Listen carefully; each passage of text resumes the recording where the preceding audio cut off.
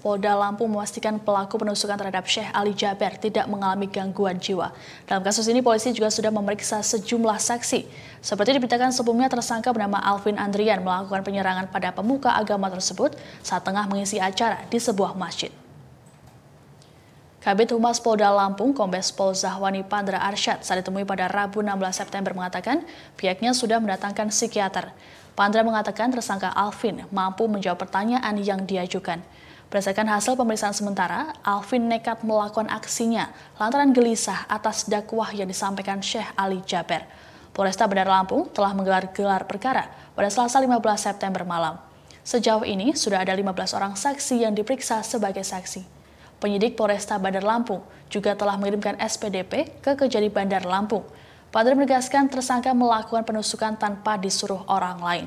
Tersangka bakal dijerat dengan pasal berlapis dengan ancaman hukuman maksimal 20 tahun penjara. Nyawa di Kabupaten Pesarawan e, merupakan rumah sakit rujukan rumah sakit jiwa rujukan Provinsi Lampung dan juga dari tim psikiater dari Pusat Kedokteran Kesehatan Polri. Jadi dua tim ini sekarang sedang bekerja dalam menentukan observasi ini memerlukan waktu sekitar 14 hari khusus observasi terhadap kejiwaan ini. Tapi kami untuk fakta-fakta hukum adanya niatan dari pelaku ini yang kami akan menggali. Karena di dalam memberikan keterangan, tersangka itu dapat menjelaskan. Jadi selama ini eh, tayangan yang ada di eh, berbagai media yang sering dilihat oleh pelaku ini hampir uh, sudah begitu ada beberapa waktu yang lama. Jadi sering lihat di media-media, di media elektronik, sehingga merasa ada apa, ya, terbayang-bayangi, ter, yang merasa tidak tenang dan lain sebagainya. Ini yang mengibatkan. Dan kebetulan pada hari Minggu tanggal 13 September 2020 itu ada kegiatan Hafiz Quran yang dihadiri oleh penceramah dan ulama dari Syekh Ali Jabir, di mana rumah tersangka pun juga tidak terlalu jauh.